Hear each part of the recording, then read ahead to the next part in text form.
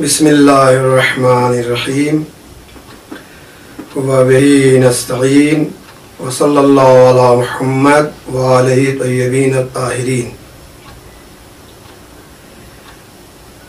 बमुनासबत विलादत बसआदत हज़रत फ़ातिमा मासूमा अलैहा तमाम मोमिनीन की खिदमत में हदिया तबरीक अर्ज़ है।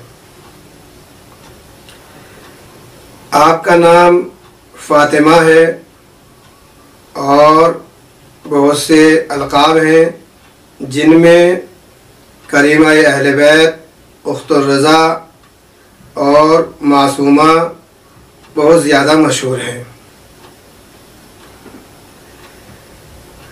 आप मदीने में पैदा हुई और वहाँ से अपने भाई इमाम अली रज़ा सलाम से मिलने के लिए सन 200 हिजरी में सफ़र शुरू किया। इस सफ़र में आपके साथ आपके कुछ आयज़ अकरबा और मुहाफिज थे। जब आप सावा पहुँचती हैं तो वहाँ पर आप मरीज़ हो जाती हैं। इसकी दो वजह हैं। एक वजह यह है कि आपको जहर दिया गया जिससे आप मरीज़ हुई, और दूसरी वजह यह है कि जब वहाँ पर आप पहुँची तो वहाँ पर दुश्मनों ने आपके काफ़िले पर हमला कर दिया, जिसमें आपके साथ आने वाले बाज़ अफराज शहीद हो गए, जिसके सदमे से आप मरीज़ हो गई। मरीज़ होने के बाद आपने अपने हमराहियों से कहा कि आप मुझे कुम ले चलें।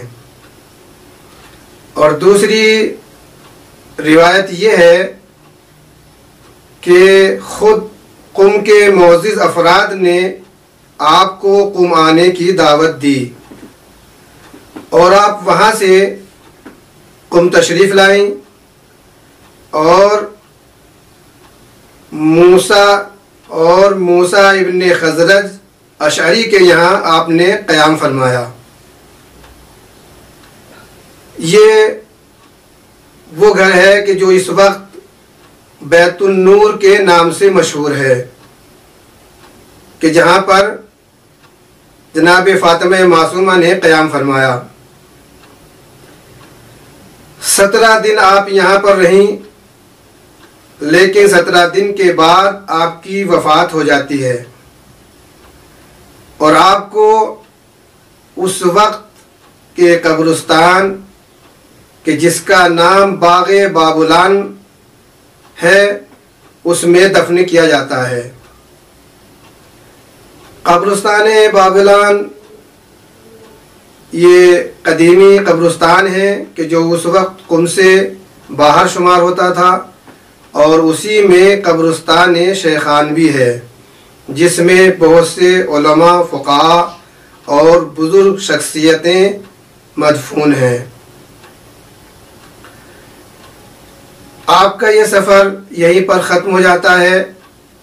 अगरचे आप इमाम रज़ा सलाम की मुलाकात के लिए आई थी, लेकिन आप वहाँ तक न पहुँच सकी। आपकी विलादत यकम ज़िक़ात सन एक सौ तिहत्तर हिजरी में होती है और आपकी वफ़ात दस रबीसानी या बारह रबीसानी सन दो सौ एक हिजरी में होती है। वसल्ला महमद वाल